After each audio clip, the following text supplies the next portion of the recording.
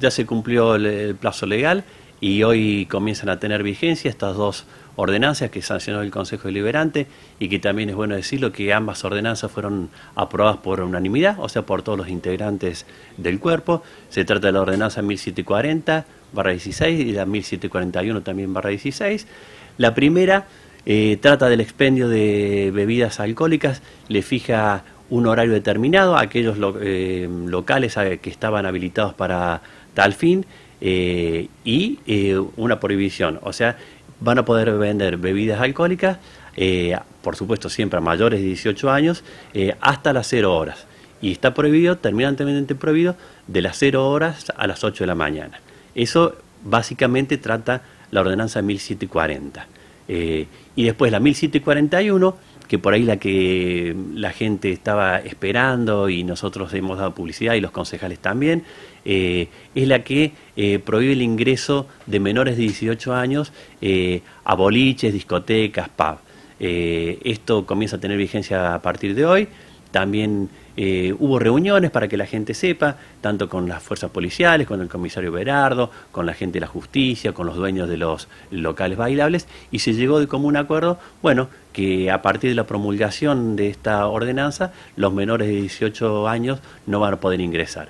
Y también acá hay una salvedad, Jessica, que es importante decirlo, eh, las barras van a poder funcionar que venden alcohol hasta las 5.30. Luego de las 5.30 eh, no pueden funcionar, pueden sí funcionar otras barras que no vendan alcohol y el cierre sigue siendo a las 6 de la mañana.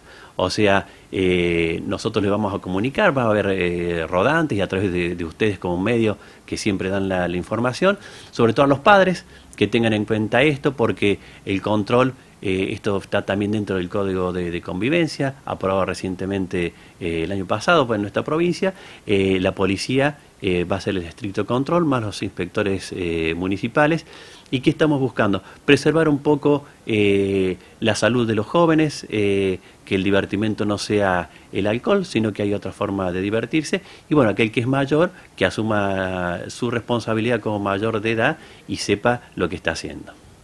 En el caso de los comerciantes, los bolicheros que se vayan a ver involucrados en estos dos proyectos, ¿cómo han sido informados al respecto?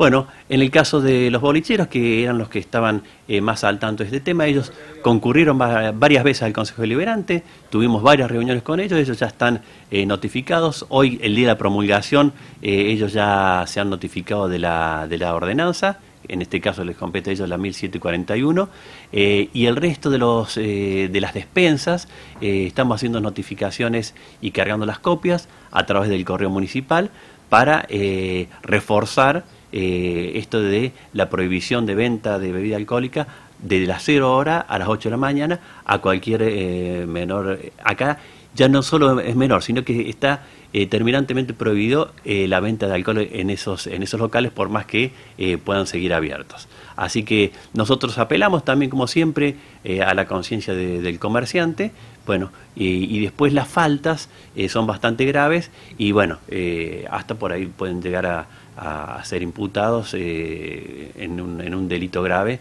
eh, por el Código de Convivencia.